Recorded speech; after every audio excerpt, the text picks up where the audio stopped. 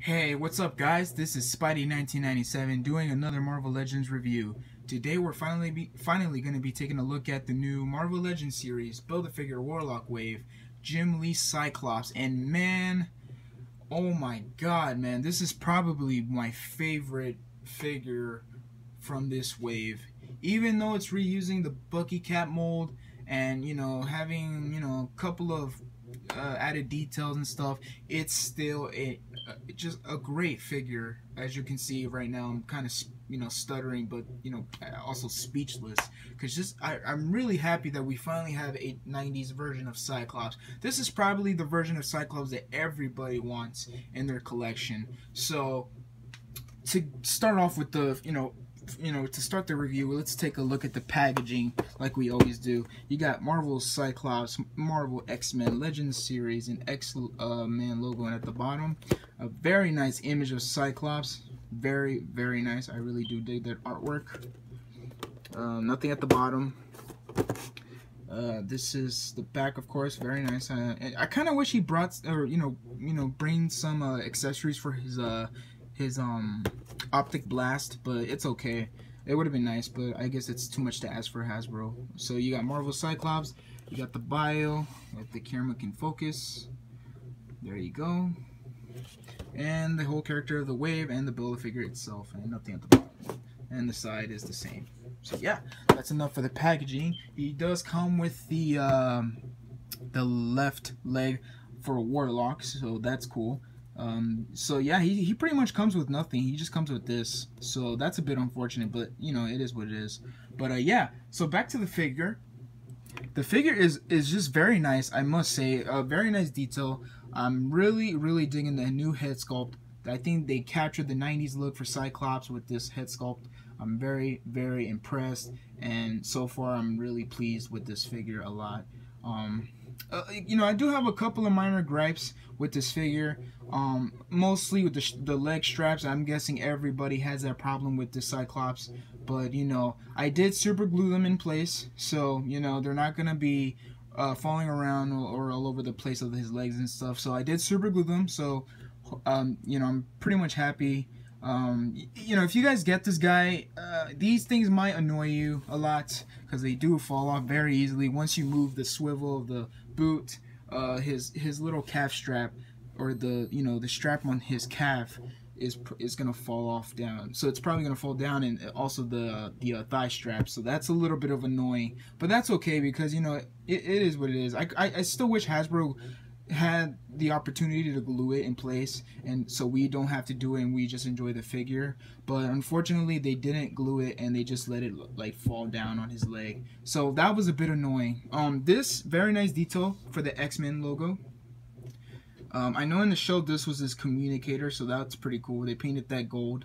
Um, you know, you got a nice. I think the X Men logo on the on the strap on his uh, chest came out very nice, painted very nicely. I don't see any splotch of paint, so that's good. Especially on the belt, very nice painted with some black and red.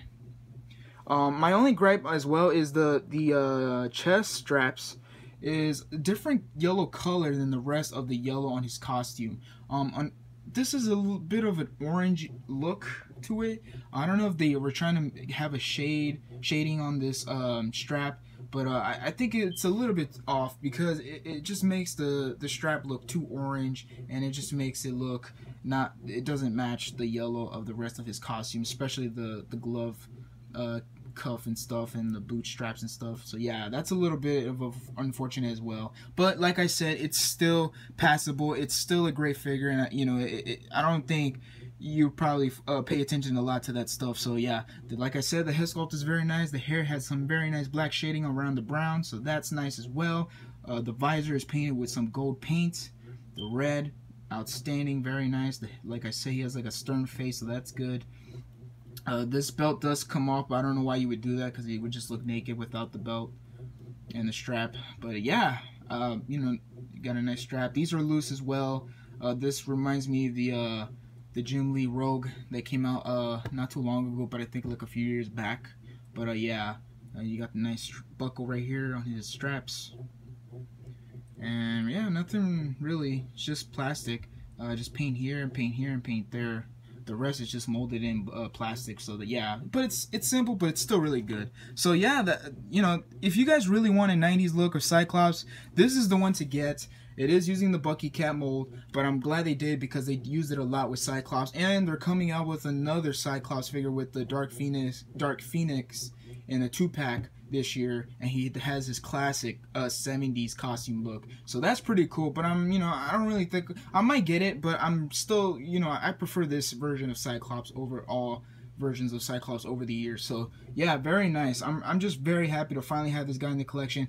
I did not find him in the wild, unfortunately. Um, I did pay um, I did uh order him on Amazon uh, you know, he was a bit pricey, but you know, I couldn't find him anywhere retail. I was being very patient. Hopefully, I would find him one day. You know, if I find one in the wild and uh, another time, I'm still gonna get one because you know he is pretty cool. So I would like to have two at least. But uh, yeah, I just had to buy him on Amazon. So you know, I I'm pretty happy that I did because I was tired of waiting, and he was probably the hardest uh, character to find in this wave, and, you know, because I guess everybody wants this guy, especially Colossus. Colossus was another one to is is is another character that is really hard to find nowadays. But uh, yeah, so that is it is what it is. So yeah, so uh, that's all I have to say for this Jim Lee Cyclops. So if you guys really want this '90s look, hopefully you guys find them one day, and hopefully you guys have you know are lucky to find them. So like I said, I did not find them in the wild. I've seen people who find them at Walgreens, Target, Walmart. Uh, yeah, I've been to all those places. I, I never have any luck finding those uh, this figure. So yeah, so that's all I have to say, guys. So please comment, subscribe. Please give this video a big thumbs up if you really enjoyed this video. And this is Spidey1997 signing out, and have a great day. Thanks for watching, guys.